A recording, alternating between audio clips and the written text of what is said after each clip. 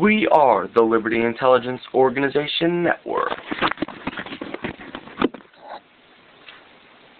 And this is our news recap show. I am your host. You can call me the captain. Uh, sorry for the pause there. I was just considering whether or not I wanted to film tonight. Um, but I'm going to go ahead and do it. Uh, basically just because I just tried to film this segment and my phone died on me, so I lost that, that footage. Um, but so I'm going to try to rush through it. Now, what I want to go over today is I mentioned in the last one, my, the last special report I did about gaslighting.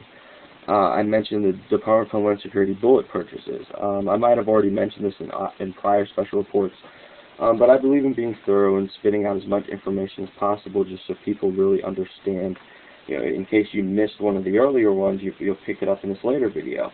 Um, but what I want to mention is why would they do all this? Now, some people say that they bought all this stuff, and they bought a lot of stuff. It, it goes all together. The drone stuff. I'm going to link all this stuff together right now and explain how it's going to impact your life and, and how it relates to the tyrannical takeover. The drone stuff, though, again, the drone legislation which allows them to target American citizens on American soil um, has now been verified that that is the goal. That is what they plan to do with drones. Um, so so that that there's that. Then they've also purchased in the past couple of months 2,500 armored vehicles for Department of Homeland Security and also for local state police who are who have signed on to the Department of Homeland Security agenda, uh, usually through some sort of FEMA course. Um, and again, not all departments within police of state and local police are going to receive armored vehicles. It's only the ones that have agreed to fully sign on to this agenda. Um, so they purchased 2,500 of those in addition to ones they've purchased in the past. So they, they've built up quite an arsenal of armored vehicles. Now you can go look at pictures of these things. They look like light tanks with machine gun holes in them. Um, and when I say machine gun holes, not like they were shot with machine guns, but what I mean is like a little slit for them to slide machine guns out of. Um, so that's what they look like. They're, they're pretty intimidating looking. Some of them are black. They're real intimidating looking.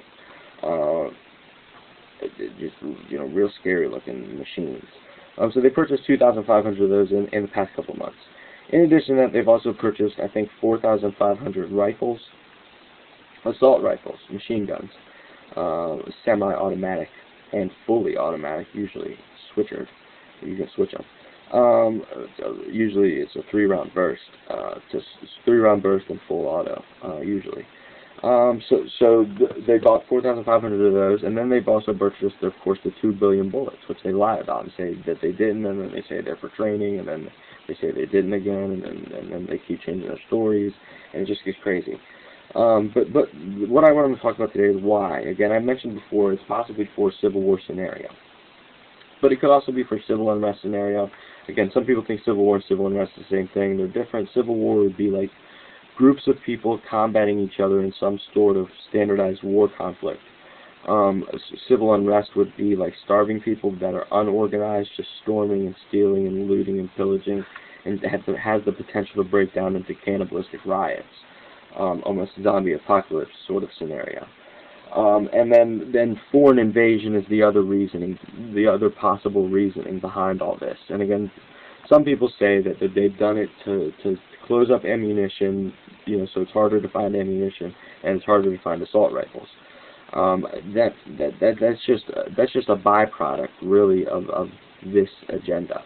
Um, because that would make sense if it weren't for the drones and the armored vehicles. But once you throw the drones and the armored vehicles in the scenario, all of a sudden that doesn't make as much sense anymore. That's not the main reasoning they're buying all this stuff the main reasoning is they believe there's going to be some sort of conflict on American soil where this stuff will be needed. Um, and again, so foreign invasion, civil unrest, or civil war, other possibilities. Now, or of course the other scenario is all of the above, um, which is when I war game it in my mind. That's how I would envision these guys based off of what they've done in the past, based off of the, their usual MO uh, they would be in all of the above scenario. They would start civil unrest, they would force people into groups to fight against them, and then at the same time they would bring in or invite foreign enemies to invade a given country because globalists don't belong to any given country. They think their goal is to conquer the whole world. so they don't mind watching one country fall. And a lot of people say, well, the, most of the globalists are American. Uh, you know, most of the globalists in the 1940s were Jewish. Uh, that didn't stop them from funding a guy named Hitler. You see, it's not about the group that they belong to or the nation they belong to. It's about their desire to control the entire world. So I really want people to understand that, uh, and really, you know, just uh, really more understanding of what all these purchases really signify or represent, some analysis, some understanding, or some different ways of viewing the topic.